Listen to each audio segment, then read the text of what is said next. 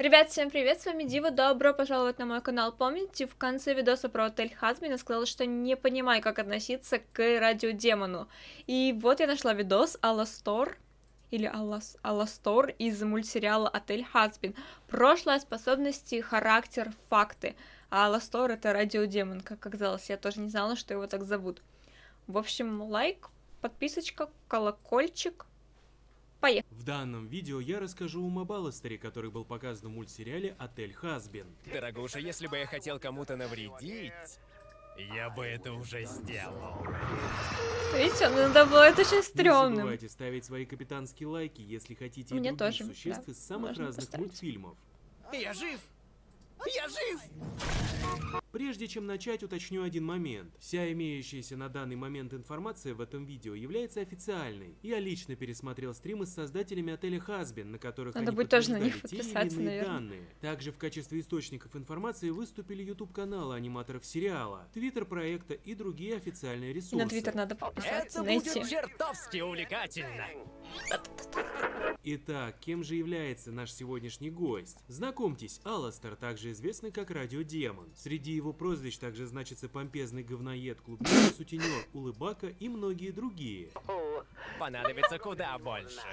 По своим манерам и поведению наш сегодняшний герой напоминает старомодного диктора на радио. И это имеет логическое объяснение. Алластер, как и многие другие обитатели ада, не всегда были демонами. Когда-то они были вполне обычными людьми, которые из-за большого количества темных делишек после смерти не смогли попасть в рай. Например, наш герой в начале 20 века работал на радио в Новом Орлеане, штат Луизиана. Умер же Алластер в 1933 году. Но в ад он попал не из-за своей работы на радио, а из-за пугающих увлечений после нее. Дело в том, что будучи человеком, он любил кромсать людей, то есть был серийным убийцей. И скоро я вам расскажу, каким именно. У меня аж мурашки побежали. Но для начала я уточню, что создательница отеля Хазбин Вивьен Медрану или просто Вив Зипоп очень много времени уделяет даже самым крошечным деталям, некоторые из которых не заметит не то что русскоязычный, но и даже англоязычный зритель. Когда Алластер впервые появляется на пороге отеля Чарли, он упоминает биржевой крах 1929 года. Последний раз так развлекался, наблюдая за биржевым крахом 29 года. Так много сирот. О каких таких сиротках идет речь? Сначала можно подумать, что имеется в виду последствия биржевого краха, но все гораздо глубже. Во время появления Алластера на фоне играет мелодия You are never fully dressed without a smile. Эта песня была написана специально для бродвейского мюзикла Энни, который в свою очередь был основан на комиксе Харальда Грея «Маленькая сиротка Энни» 1924 года. Чувствуете глубину? Но и это еще не все. Обалдеть. В 1930 году комикс превратился в радиошоу, то есть зрители могли послушать его по радио. Все это дает нам не только понимание о невероятной проработке мультсериала, но и подтверждает тот факт, что Алластер в начале 20 века действительно был человеком и работал на радио. И теперь я нашел себе новое призвание. Эх, такое бы отношение к деталям в каждом мультфильме. Здравствуй. Ну а что там с кровавым хобби Алластера? И тут автор отеля Хазбин тоже сыпет в наше лицо огромное количество подсказок, в которых, правда, нужно немного разобраться. Итак, мы имеем начало 20 века, серийного убийцу, Луизиану и радио. По моему мнению, все эти моменты указывают на дровосека из Нового Орлеана. Свои убийства он совершал в 1919 году, а полиция так и не смогла его поймать, что говорит о том, что маньяк мог продолжить совершать свои грязные делишки в другом месте. Примечательной деталью был случай, когда дровосек пообещал пощадить всех, кто в определенный день будет слушать джаз. И как вы понимаете, в тот день почти из каждого дома играла музыка, в том числе и по радио. По словам Вивьен Медрана, Алластер при жизни имел странный кодекс, которому он следовал во время своих убийств. Так вот, у Дровосека тоже был некий кодекс, по которому в первую очередь его жертвами становились иммигранты из Италии. На одном из стримов Вивьен и ее команда сказали, что при жизни обсуждаемый персонаж был самым настоящим оленем, которого застрелил охотник. Позже эту информацию перевели в разряд неканоничный. Однако при этом у Алластера остались определенные черты указанного животного, например, крошечные рожки, которые при переходе в демоническую форму значительно увеличиваются в размерах. Грешники стали называть его радиодемон.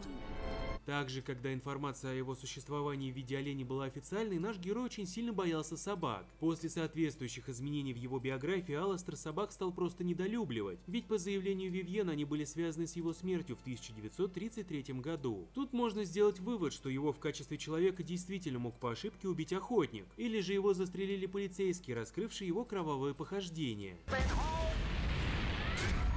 Кстати, уже озвученная ранее песня при первом появлении Алластера в отеле You are never fully dressed without a smile дословно переводится как «ты не при полном параде, если не улыбаешься». Это также является прямым намеком на характер героя.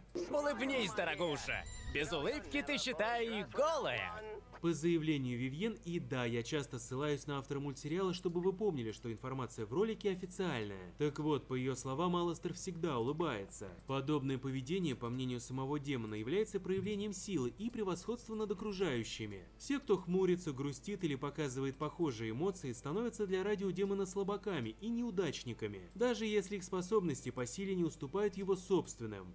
С твоей очаровательной улыбкой и равнодушием ты будешь просто неотразим. Кстати, способности Алластера не знают границ. Он может телепортироваться, призывать других демонов без их разрешения, изменять пространство и время, манипулировать материей, сводить врагов с ума, мгновенно прекращать существование почти любого создания и делать бесконечное количество других страшных вещей. Даже сама Вивзи Поп заявила, что она не знает обо всех силах своего персонажа и что его возможности просто безграничны. Еще это можно объяснить тем фактом, что Алластер не любит раскрывать свои силы окружающим, как это делают многие другие демоны, лишаясь в итоге преимущества. Обсуждаемый герой не такой, из-за чего он крайне непредсказуем. Плюс такая мнимая слабость позволяет радиодемону более просто подталкивать окружающих на выполнение нужных ему условий. Например, Алластер может внушить оказавшемуся в смертельной опасности существу, что спастись оно может лишь заключив с демоном сделку. Так ты и принимаешь сделку.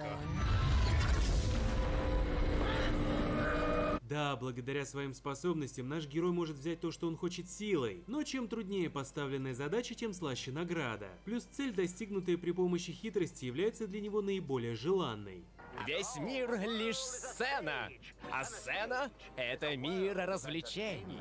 К слову, благодаря своим способностям Алластер смог свергнуть многих могущественных демонов, которые не знали поражений многие Ну, столетия. помним. Ну а какие же у него отношения с царем Ада Люцифером? Ну что ж, на этот вопрос ответ само собой есть. И дала его, конечно же, Вивьен, кто же еще. Эти могущественные создания знакомы. Они не боятся друг друга, а напротив испытывают взаимное уважение. Если давать чуть более развернутое объяснение, то Алластеру нравятся придурки, а Люцифер является самым главным представителем этого вида. Интересной особенностью радиодемона является отсутствие у него полового влечения, или говоря другими словами, он асексуален. На некоторых русскоязычных порталах по мультсериалу встречается частая ошибка, согласно которой Алластер стал не асексуальным, а бесполым, хотя это два совершенно разных и не связанных друг с другом понятия. К другим менее значительным фактам можно отнести следующее. Наш герой не любит, когда к нему прикасаются. Такое поведение может привести к серьезным травмам. Микрофон, который периодически можно лицезреть в руках Алластера, является его частью в прямом смысле этого слова, а также имеет свой собственный голос. Testing, Помимо убийства и заключения невыгодных сделок, радиодемон любит готовить и, как следствие, хорошо покушать, Неожиданно. предпочитая в первую очередь мясо. Помимо этого, обсуждаемый персонаж умеет играть на разных музыкальных инструментах, хорошо поет и танцует. Не прочь он сходить и в театр, а из фильмов предпочитает ужастики и черные комедии. Сам Алластер тоже не прочь над кем-нибудь пошутить, а самое большое удовольствие ему доставляют неудачи окружающих. Только чтобы вновь и вновь падать, обрушиваясь вниз в горящую гиену неудачи. Это все на сегодня. Если вам понравилось, ставьте палец вверх, подписывайтесь на канал Инстаграм и группу ВКонтакте. Вау! Ну и дерьмо! Спасибо, и если вы встретили демона и он предложил вам сделку, гоните его в шею.